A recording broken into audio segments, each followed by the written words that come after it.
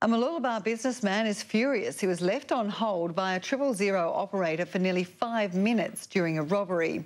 Thieves were able to steal more than 30 computers while he was waiting to speak to police. It only took minutes for the brazen thieves to smash their way in and steal more than $30,000 worth of computers.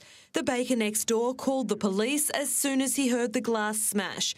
He then chased the group with his apprentice. The whole time he was on hold to a triple zero operator.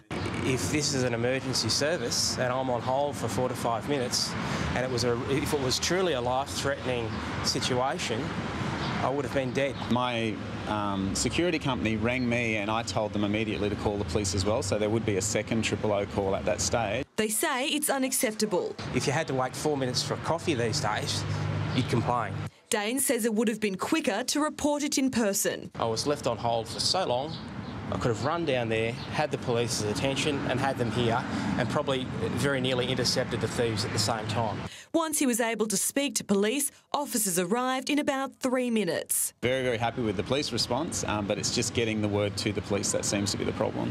It's not the first time it's happened. Dane interrupted another robbery at a nearby butcher 12 months ago. I was left on hold for even longer that time. That was probably more like six or seven minutes. It's completely unacceptable to have a triple O system that's not working. It's letting down uh, members of the public, it's letting down the emergency services who want to be able to respond.